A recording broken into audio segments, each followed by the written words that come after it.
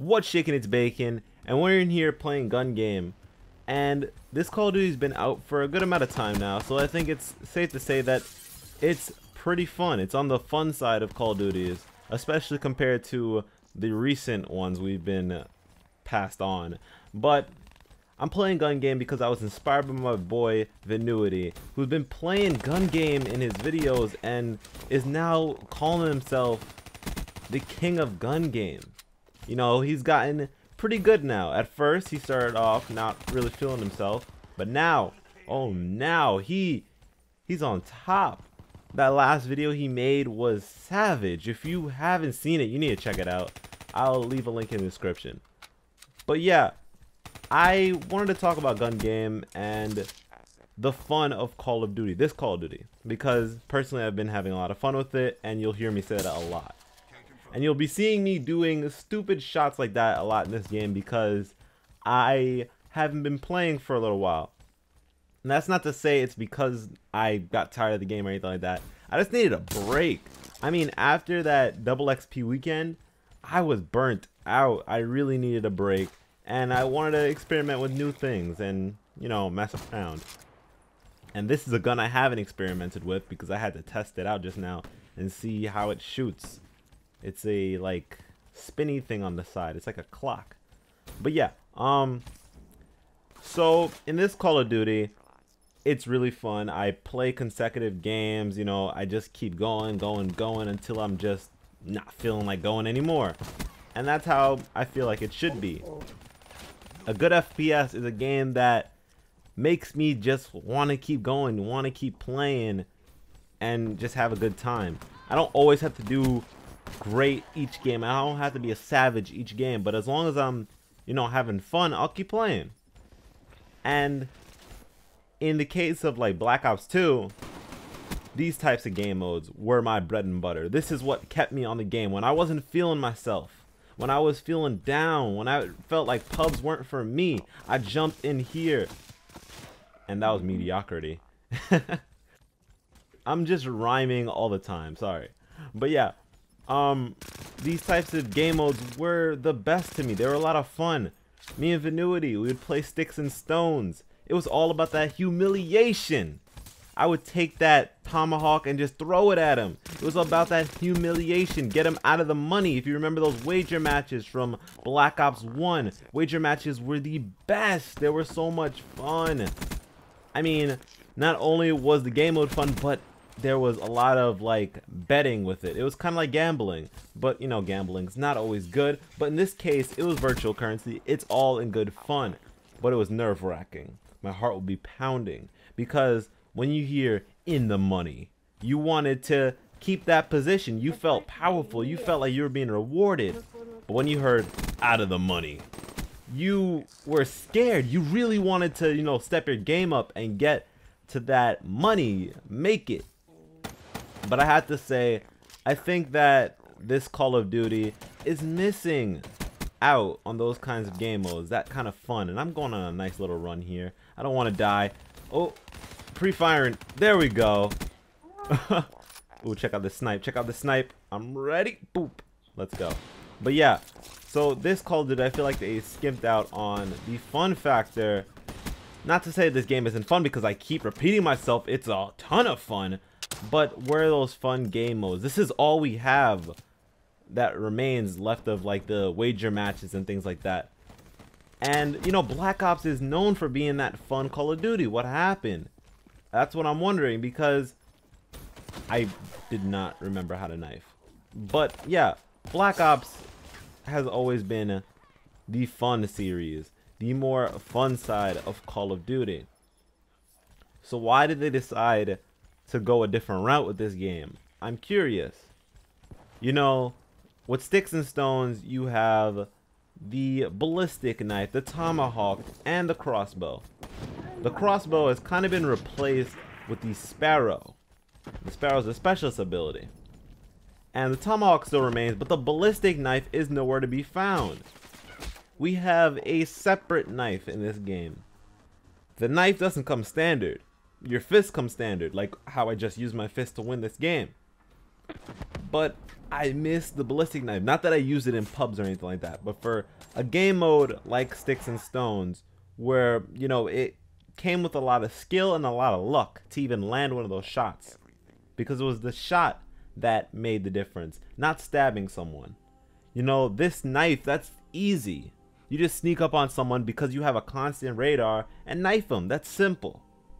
The fist, eh, it's a little bit more difficult, but if someone's injured, that's a one-hit kill. And you can trick people up and just get in their face and boop boop, it's done. It's combo. It's over. But with the ballistic knife, it was a whole lot of fun, and I like that. I miss that. That was in Black Ops 1, it was Black Ops 2. I'm wondering why they're breaking away from those, you know, just fun factors, those little, I don't want to say trolly things because you don't have to be a troll to wield them. People just like to mess around in game modes and use unorthodox weapons, and that's what the ballistic knife was, an unorthodox weapon which generated a whole lot of hype when Black Ops 1 was first revealed. When that thing first came out, people were like, holy shit, ballistic knife? That's wild, a projectile knife? Holy crap. Same for the shock charge. I mean, the shock charge still in this game, and I think it's gotten a whole lot messier. It's crazy now. But with, you know, tac mask, it's just nothing. But I'd like to see Sticks and Stones come back, but is that possible at this point? I'm not entirely sure. Because the Sparrow is a specialist ability. They could make it so that you have everyone has to use a Sparrow and it's a constant specialist power going on, I guess, or bonus. But even that is kind of silly because the spe that Sparrow specialist is crazy powerful.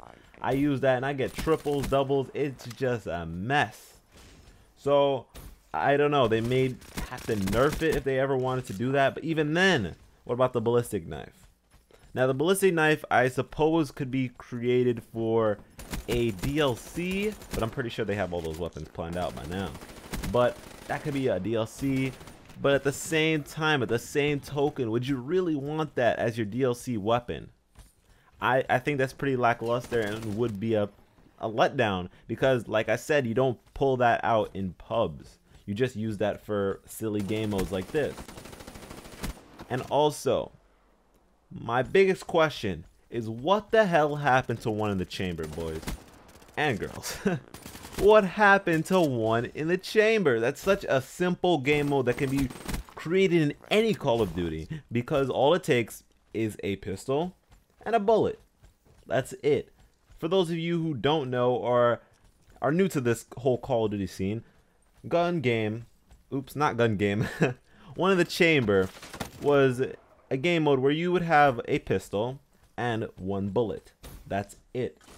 You could get more bullets by knifing people, or you could have your bullet refunded if you kill someone with that bullet. And it only takes one bullet to kill someone. That's it.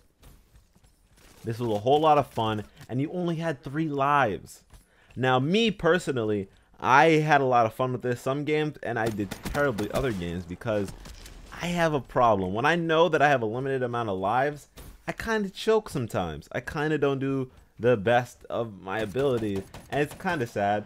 I'm saying kind of a lot, but you know, it, it was always fun because it was so nerve wracking. And that's the kind of adrenaline rush I miss in Call of Duty. What happened to those types of game modes? They have the extras now that are like Mosh Pit and Ground War, but those aren't silly game modes. Those aren't fun game modes. Like, they can be fun, but I mean fun in a crazy, wild, zany manner.